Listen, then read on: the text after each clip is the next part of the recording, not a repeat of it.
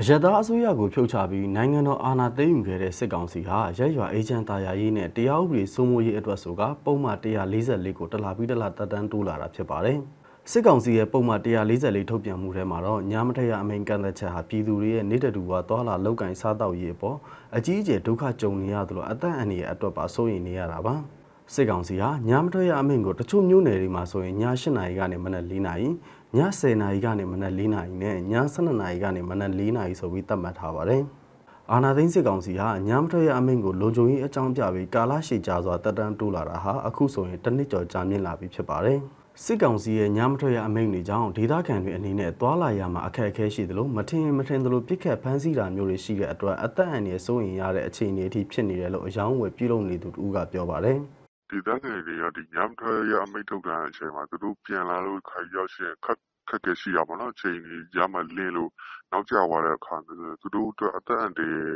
အထီးဆိုးရင်ရတဲ့အခြေအနေရှိလို့ခါကြောက်ရှင်လည်း မထင်မထင်လို့ဖန်ဆီးတာမျိုးလည်း သူကြုံရတဲ့အတွက်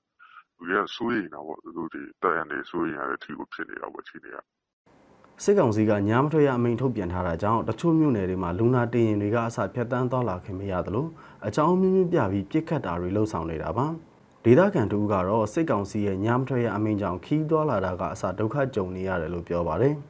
ခက်ခဲတော့ဟိုကညညဘက်ဆိုတော်ကြီးစနိုင်ဆိုတော့ဆက်ကြလို့တော့ဝင်ရဘူးပေါ့ကိုယ်မဖြစ်ဘူးတော့တော့ကတော့ပြန်လဲတော့ပြောလို့ခကြီးတော့ခက်ခဲတယ်ပေါ့လဲမ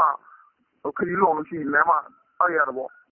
ဒါအပြင်စစ်ကောင်စီတပ်ဖွဲ့ဝင်တွေကညမထွက်ရအမိန့်သတ်မှတ်ထားတဲ့အချိန်မြောက်ခင်တွေမှာလည်းကားဆိုင်ကယ်တွေကိုပိတ်ဆို့ရှာဖွေတာတွေလှုပ်ဆောင်သလိုမထင်မထင်သလိုလူငယ်တွေကိုဖမ်းဆီးတာတွေရှိနေတာပါညမထွက်ရအမိန့်ကန့်သက်ချက်တွေကြောင့်ကယ်ဆယ်ရေးတွေဆောင်ရွက်ရမှာလည်းအခက်ကြုံနေရသလိုစစ်ကောင်စီကိုတရင်မပို့ရင်အရေးပေါ်လူနာသွားတည်ယူခွင့်မရတဲ့အခြေအနေနဲ့ရင်ဆိုင်နေရတယ်လို့လူမှုကယ်ဆယ်ရေးအဖွဲ့တာဝန်ရှိသူတူကပြောပါတယ်ခက်ခဲရရှိတာပေါ့လူနာပို့တာရောဘာရောပေါ့နော်ဒီခုကလည်းဇာမာရန်စစ်တယ်နော် အော်ဒီမှာအမ်ဘူလန်ကားသွားရင်လေအဲ့လိုပါစစ်ဆေးရကျန်းတယ်ပေါ့နော် တခြားကားကတော့ မစစ်ကြဘူးငါတို့အမ်ဘူလန်ကတော့စစ်တယ် အသွားရဲတိုက်လာရင်ရင်းပေးရတာပေါ့နော် အဲ့လိုတော့ခက်ခဲရှိတာပေါ့ပြေဖို့တော့ပို့ရင်ရာအုပ်ချုပ်ရေးမှုရင်းပို့ရတယ်အချုပ်ရေးမှုကစစ်မြို့နယ်အုပ်ချုပ်ရေးမှုရင်းပို့တယ် မြို့နယ်ကနေစစ်ဟိုပေါ့ရဲကင်းပေါ့နော်တရားချိတ်က ရဲကိုပေါ့တင်းပြန်ပို့ရတယ် အဲ့တရားကနေတင်းအဲ့တရားကနေ ပြန်ဖြတ် ဖြစ်ပြန်ဖြတ်ဖြတ်ဖြစ်ပေးမှဒီက ညီမတို့အမ်ဘူလန်ကားသွားလာရတာသူတကယ်ပေးမရမသွားရဘူးပေါ့နော်ရေဘလောက်ပဲရေပေါ်လူလာစစ်နေပါစေ